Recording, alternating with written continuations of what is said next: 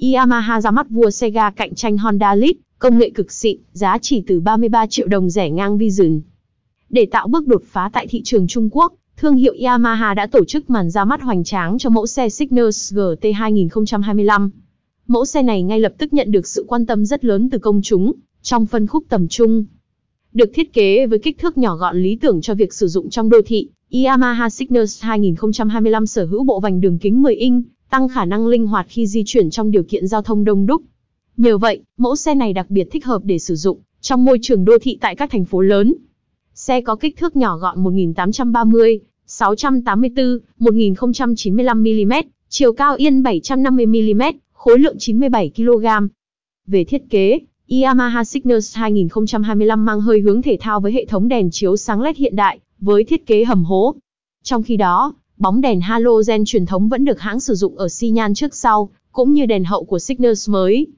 Trong khi Honda Lead chỉ được trang bị đồng hồ dạng analog kết hợp màn LCD, thì Yamaha Signus 2025 xịn sò hơn, khi sở hữu bảng đồng hồ kỹ thuật số dạng màn hình Full LCD màu. Màn hình này hiển thị một cách chi tiết, và rõ ràng những thông tin vận hành cần thiết cho người lái. Bên dưới yên xe, Yamaha Signus 2025 có cốp chứa đồ khá rộng rãi, cho phép người dùng để vừa một mũ bảo hiểm nửa đầu cùng nhiều đồ vật khác. Ngoài ra, nhà sản xuất còn bố trí hộp chứa đồ nhỏ kèm cổng sạc điện thoại 12V tiện lợi ở phía trước của xe. Xe được trang bị cả khóa chống trộm từ tính đảm bảo an toàn cho xe. Ngoài ra, khu vực để chân rộng còn tăng thêm sự thoải mái và tiện lợi cho người lái.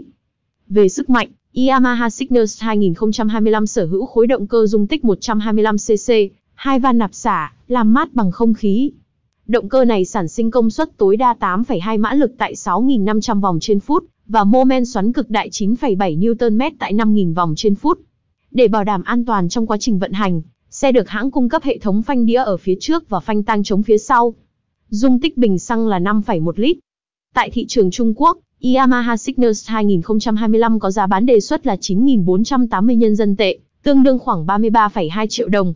Với mức giá bán hấp dẫn, Yamaha Signals 2025 sẵn sàng đe dọa Honda Lead và Honda Vision nếu về Việt Nam.